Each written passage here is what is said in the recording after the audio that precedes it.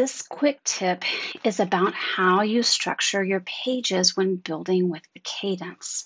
Now, I'm a big fan of Kadence, and I'm just not a big fan of Kadence free blocks. I'm a big fan of the Pro blocks because they give you a block called the row layout.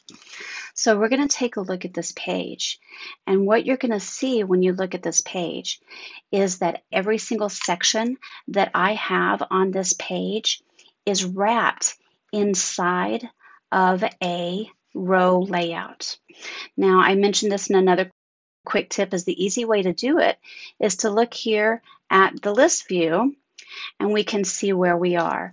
Now, I've got a little bit it's kind of skinny here on my screen. So I'm going to go ahead and, and X out of that so I can see my screen better.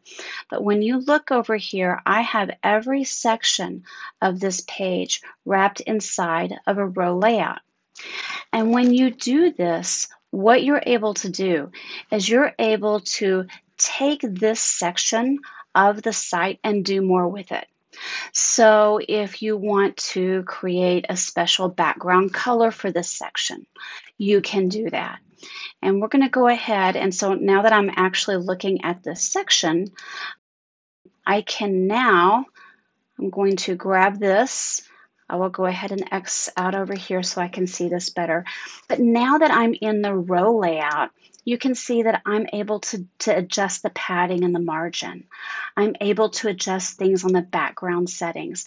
There's so many different areas and so many different things that I can do, including even hide a section on visibility. Let's say that you have a section here that you want to hide from users who are not logged in. You can even hide a section. And the way that you do that is wrapping that inside of the row layout.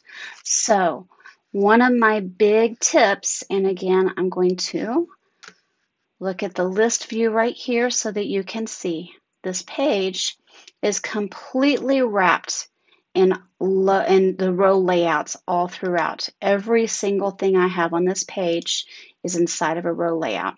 So that is my big quick tip for working with Kadence blocks.